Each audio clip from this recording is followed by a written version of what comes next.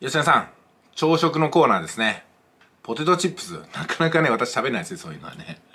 まあ、あの、でも、どんなものでも、うん、あの、発信できるし、発信すれば受け取ってくださった方の気分や、その時のコンディションで何か言いたいこととかできるでしょ。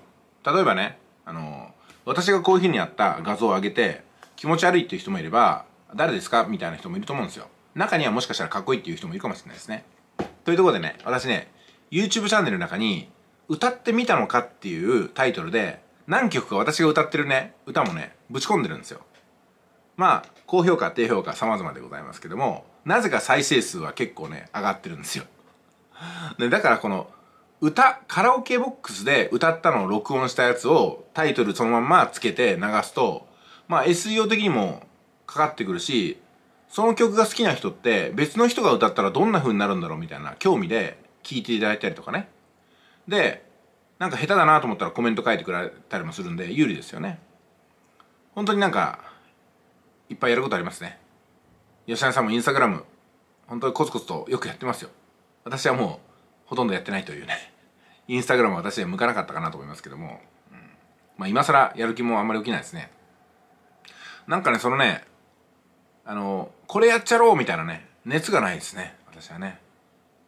まあ今は、何が何でも家族や奥さんや子供に対して全力投球しないといけんなって感じはありますけども、でもそのために、あの、なんですかね、なんかこう、仕事をしてやろうみたいな気持ちじゃなくって、今ある資産で、えー、まあね、最大限の、なんですかね、ケアをしてやろうって思うぐらいですかね。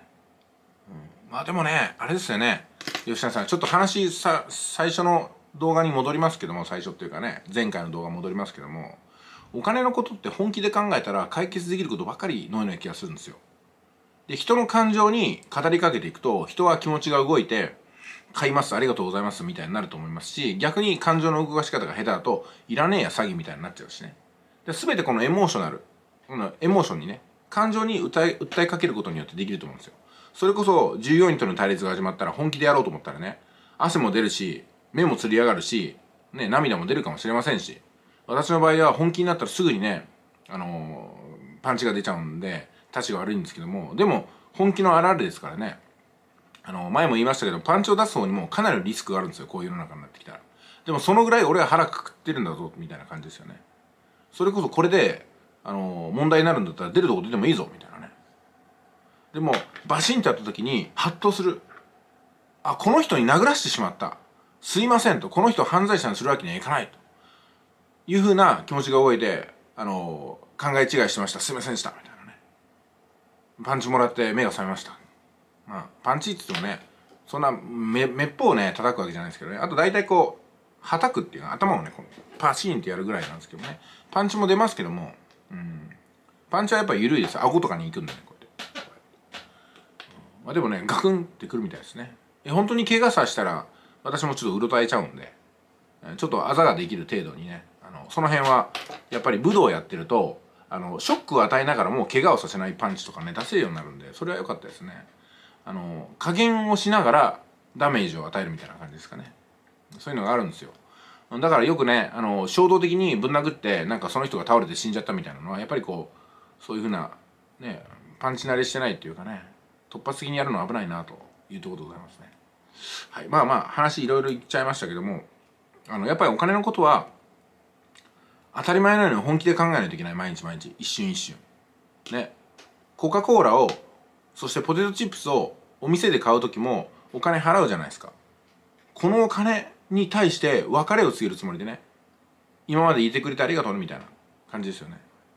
で商品は来るけどもうお金は戻ってこないみたいなとこじゃないかなと思うんですよ。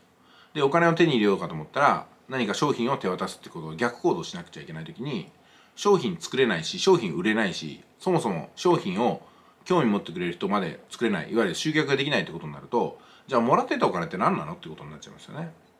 で不思議ですよね。会社員とかアルバイトすると自分が集客したりとか販売してるわけじゃないのにお金もらえるわけなんですよ、だからそれがねビジネスをどんどん鈍らしていくと思うんでやっぱり自分で責任を持って商品作って自分で責任を持って集客して自分で責任を持って販売する。この繰り返しじゃないかなと思うんですよ。だって商品作るの責任ほとんどの人持たないですよね。誰かが作った商品だから。集客も会社の看板とか広告がしてくれたんで責任持たないですよね。自分が呼んだわけではありませんみたいな感じですよね。で販売も自分が強くセールしたわけじゃなくてすでにお客さんが半分ぐらい欲しいなと思って来店してるんで強いセールスもいらないですよね。だからこちらから出かけていってその商品に興味もなかった人に対して興味を持たせて感情を動かして商品を買わせるみたいなのはねこれビジネスの王道だと思いますよ。買わせるっていう言い方をしたらなんか無理やりみたいな感じがしますけどもまさにあなたがもしものためにこれがあった方がいいですよみたいなね。だって防災グッズでそうどうなるんですかって話じゃないですか。防災グッズって今使わないわけですよ。明日も使わないんですよ。多分1年後も使わないでしょ。でも今のうちに買ってくださいっていうふうに欲しくもない人に買わせる。それは未来を想定させるから売れるんですよ。危機を想定させるから売れるんですよ、ね、将来お金がなくなったらどうしますってことで揺さぶりをかけていってやばいよなと。この給料じゃやっていけないよねって思うから情報商材買うわけですよね。ビジネスを頑張ってやっていこうと思うわけですよね。今日なんとかなってる人にまあいざとなったらで考えればいいんじゃないですかなんてこと言ってるから売れないんですよね。やばいっすよとこのままじゃ。え45でしょ？なんでそれしか貯金ないんですか？あの尻に火がついてますよと現実見てくださいよ大半の40代は年収700万とかですよなんであんなに300万とかでなんかそんなヘラヘラしてられるんですかやばいっすよ本当に。えどんな老後迎えたいんですか？とかね自分の親戚が何かお金が必要になったら重大な危機になったらどうするんですかその時に初めてお金作り出すんですか手遅れですよ今からやっとかないと今からやっても間に合うかどうかわからないのにとかね。もうすでに億という金額を手にした私ですらいまだにセールスしてるわけですよ。お金を生み出そうとして投資やってるわけですよ。なんであなたやらないんですか？情報発信してますか？アクセス集めてますか？いや億を稼いだ私ですら毎日情報発信してるんですよ。私ですら尻に火がついてるんですよ。なんであなた平気なんですか？えなんでそうやって何の裏付けがあってそんなに堂々とヘラヘラしてられるんですか？なんか余裕があるんですか？余裕がないのにそんなことやってる。麻痺しとるわ。ああ。まあでも私の人生じゃないですからね、まあ、その時に泣きついても私はちょっと助けられないかもしれないですよ。家族がいるんでみたいなね。今だったら丁寧にあなたにビジネスとかお金を教えることができますけどもどうします？今ならですよ。明日になったらもうこの気持ち失せてるかもしれないです。まあ入金してください。みたいなね。揺さぶりをかけていかないと商品は売れないと思います。だから何もせずに勝手に売れるのはもう上級者のやることなんですよ。しかもそれで売れなかったら食っていけないわけでしょ。でも商品が売れなくても食っていける。その裏付けと自信があればセールスをしなくても売れるっていう形ができるんですよ。まあ売れなくても全く問題ないんでね。セールスに焦らないですね。まあそういう人はめったにいないと思いますんでやっぱりねビジネスを鍛えていかないといけない。私もずっとやってました。商品作っちゃ売る。集客しちゃ商品作る。で多くの人の悩みを聞いてその悩みを解決する商品を作る。全部情報ですよね。情報商材。まあ今円竹なんでございます。いってらっしゃい。